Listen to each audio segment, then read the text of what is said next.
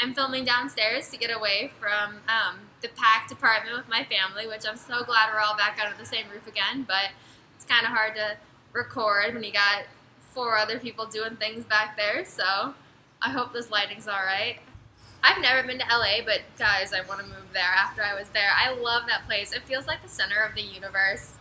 And I don't know, I don't know if you can tell, but I really like talking, I like expressing myself, I like meeting new people, and I feel like LA is just the middle of the world. Everybody there has a story, and I just like I had so much fun learning about everybody that I came into contact with, and I see myself being there at some point in my life. I don't know. So when I went to LA, I, I got some friends, and I had a travel voucher about to expire, so packed up, found a weekend, and uh, off we went. So here's the thing about LA. I don't know actors at all. Like I've seen some movies, but I don't know like like you could point to some random lady and say that's Jennifer Aniston, and I'd be like, okay, yeah, it probably is, or like that's Nicolas Cage. I'd be like, yeah, probably, and it could be just like someone who looks nothing like him, and I would just say okay. So I had my friend, I recruited her to be my um, to be my famous person finder, and I think she did a good job. Um, we saw a couple famous people on our first day, I think. I mean, she could have been lying to me, but I think she was serious about it. On the first day, we tried to hike to the Hollywood sign, but I didn't have good shoes on, and no one had good shoes on. It was like a super last minute thing. We realized the hike was like, I don't know, like eight miles up this hill. So uh, here's the pictures of our hike to the Hollywood sign.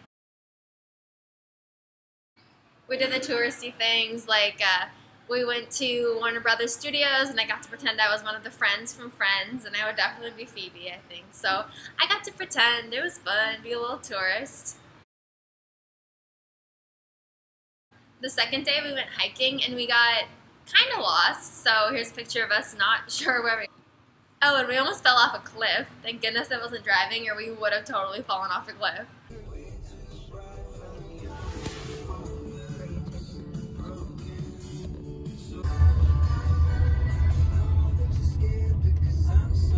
It was still a really cool hike when we got up there. Yeah, got to hike, walk, work out a little bit. We drove by the house they filmed The Bachelor in, and like, I don't know, as a gay person, I don't really care that much about The Bachelor, but I love the drama, so, and everyone in the car was like super excited to see it, so it was fun to drive past and pretend I was super into The Bachelor like they all were. Santa Monica Pier, obviously, was really fun. Um, checked it out. It was cold, but we had a good time.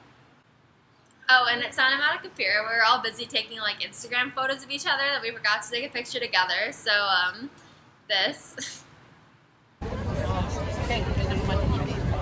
I'm gonna sing a song. And the Sultan of Swing, and give me money.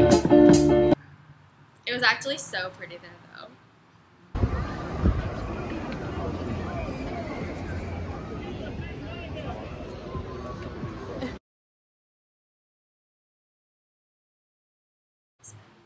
It was overall like a great time. I got to spend time with friends. I got to check out LA. I love the place.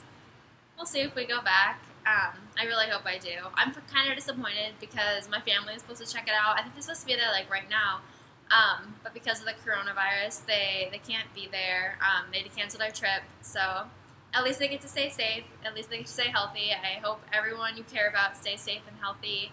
Um, I hope everything you care about stays there, and nothing else changes. Hope we got over it quick.